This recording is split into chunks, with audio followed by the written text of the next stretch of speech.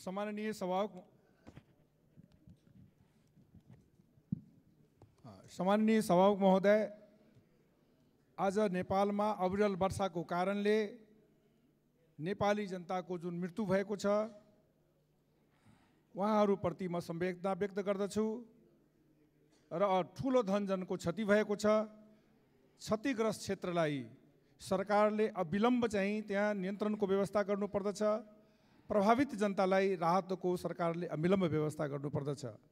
सभामुख महोदय नेपालमा वर्षेनी यो समस्या आउँदै गरेको छ तर सरकार कहिले पनि गम्भीर हुन सकेको छैन। र यस कारणले विगतको बाढीबाट प्रभावित क्षेत्रलाई हामीले उठाएका थियौँ कि अब एउटा बाढी प्राधिकरण निर्माण गर्नको लागि।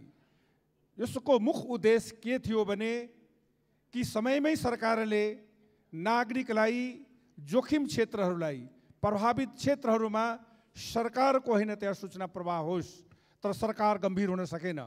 विगतको सरकारले प्राधिकरण गठन गरे त अहिले वर्तमान बहुमतको सरकारले त्यो प्राधिकरणलाई पूर्णता दिन सकेन। त्यसलाई खारिजी गर्ने धेरै प्रकार भइरहेको छ।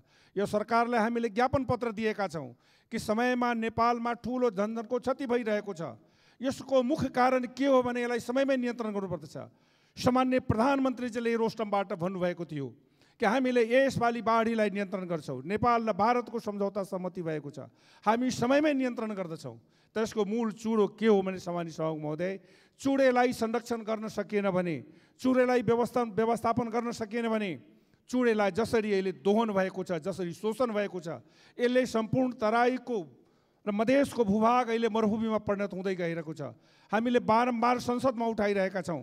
सामान्य सभामुख महोदय सरकारको रेकर्डले के प्रमाणित गरेको छ भने प्रत्येक वर्ष ने, प्रत्येक वर्ष तराई मधेसको भूमि एक लाख, चार लाख हेक्टर ज़मीन, कटान र पुरान पुरा पुर्दै गइरहेको छ मरुभूमिमा परिणत हुँदै गइरहेको छ त्यस कारणले सरकारले अहिले अ- अविलम्ब रूपमा यो चुडेको संरक्षणदेखि तराई मधेसको सम्पूर्ण नियन्त्रण र पहाडमा जुन अहिले पहिरोबाट मानवीय क्षति भएको छ यसलाई उचित व्यवस्थापनको लागि र चुडी चुडिएको उचित व्यवस्थापनको लागि सरकारले समयमै ध्यान दियोस् र अन्तमा यो प्राधिकरण समयमै गठन गरेर विगतको सरकार विगतको सरकारले गरेको निर्णयता पाओस् ताकि यसपालि फेरि हामीले यो सदनमा बाढ पीडितबाट जोखिमबाट सरकारले बचाएको अनुभूति होस्। धन्यवाद।